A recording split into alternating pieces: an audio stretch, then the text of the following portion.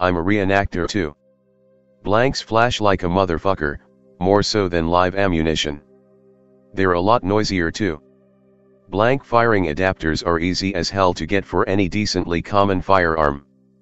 They range from like $8 for combloc surplus training BFAs for AKs and such, to 100 plus US made fancy low profile BFAs.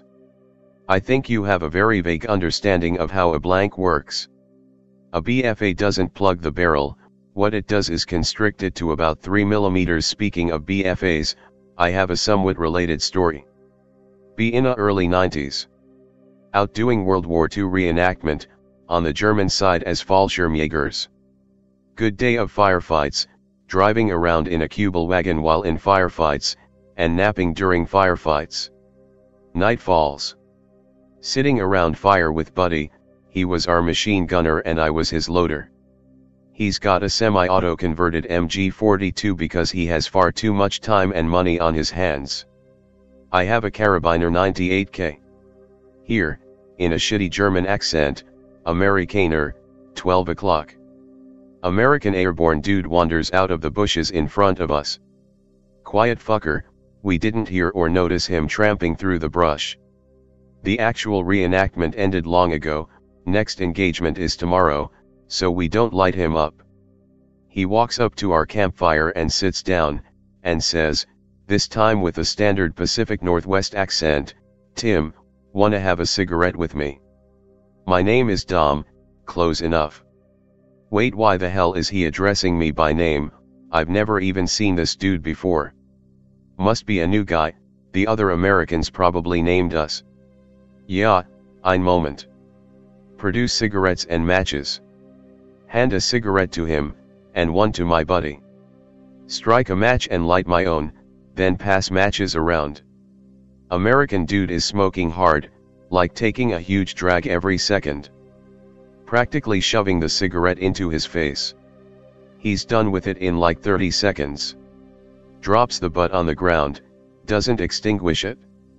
I figure it's a combination of him probably being drunk, like us, and the long marches.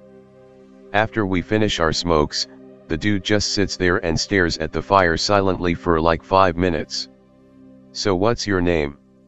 Johan, you can call me John if you want. There's a guy on the American side named Johan who goes by John. Except this isn't him, and I've known the other Johan for like three years at this point. Hell of a coincidence, did you meet the other Johan? He just fucking smiles at us. Not even a smile, more like pulling his lips back like a growling dog.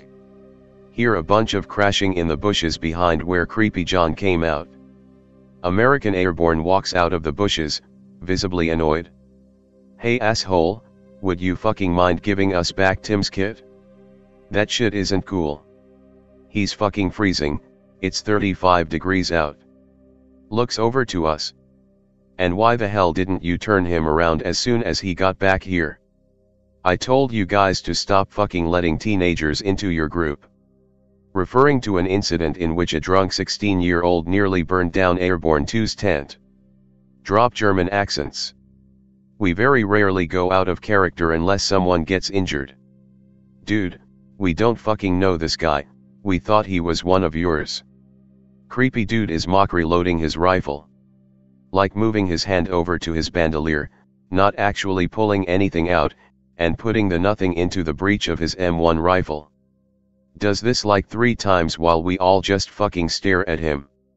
Suddenly jolts upright, starts laughing like crazy, more like an inhuman cackle. We all take a step back, Airborne 2 and I unsling our rifles while my buddy grabs his MG. Buddy shouts drop that rifle and get the fuck on the ground, we're calling the sheriff's department. We all think he's a fucking inbred axe murderer or something. Airborne 2 is known for being a ballsy dude, makes a grab for his rifle. Suddenly he just isn't there. Scan right. Scan left. He's 6 inches to my left, grinning at me. His mouth looks like it grew 2 inches wider.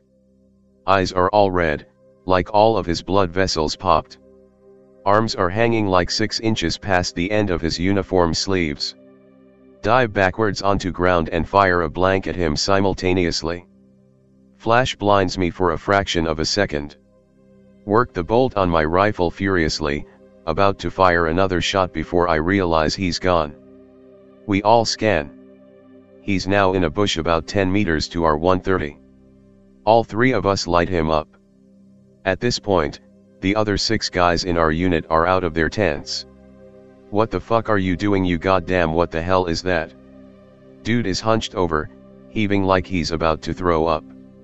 Bolts back up, lets out a guttural scream. Says, in what I can only compare to a mimicry of human speech I'm gonna gut you, you kraut sons of bitches. Everyone else scrambles for their guns and starts firing.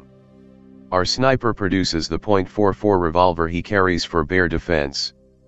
Fires a live round at the fucking thing as it just stands there. It curls over from the impact, howls in pain, and dashes out into the bushes uphill to our right. We all march over, weapons raised, to check if there's any blood. No fucking blood. Our guy is adamant that he hit it. We search around in the bushes, and eventually find the rifle and helmet it took from the real Tim. Find the bandolier torn off a little farther up, with a bullet hole in it. Guttural screaming from what sounds like maybe 30 meters away. We all fucking book it back to the campsite, just as the rest of the Americans are arriving. American sergeant walks up, fuming. Hey, thanks for fucking waking us all up with your drunken bullshit.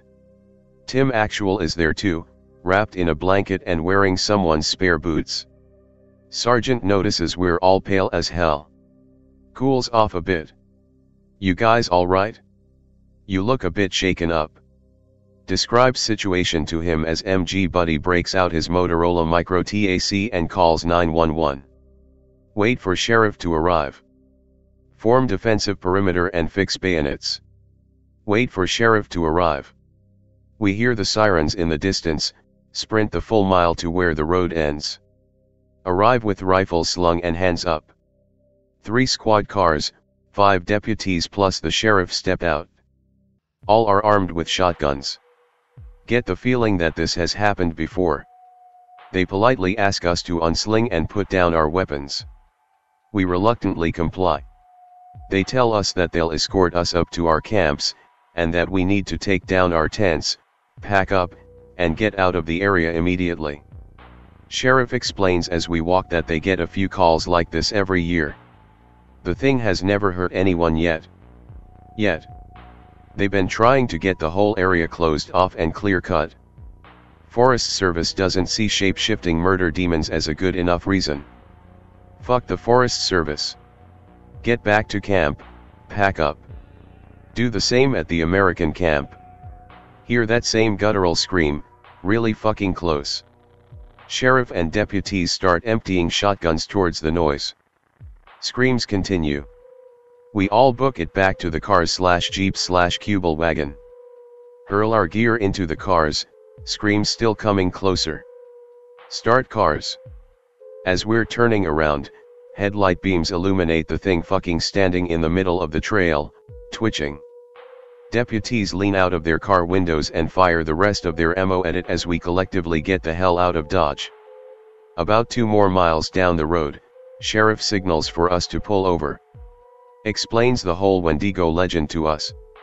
Tells us I'm not saying that that's what you saw up there, but if I were you, I wouldn't go back there if you gave me a million dollars. Sagely advice.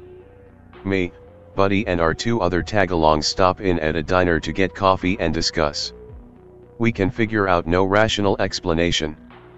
Americans lost about 400 to 500 dollar worth of gear up there. Drive home is uneventful, unable to sleep that night though.